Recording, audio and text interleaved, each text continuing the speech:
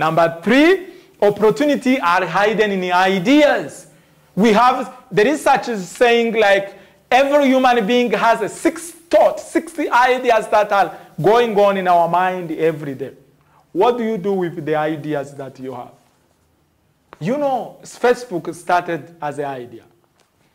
Instagram started as an idea. Television, everything, the motorbike, everything started as what? As an idea.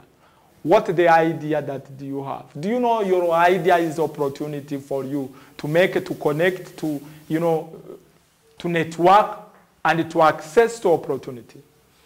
Opportunity are hidden in the ideas, and I know you have the ideas. You can sell your ideas.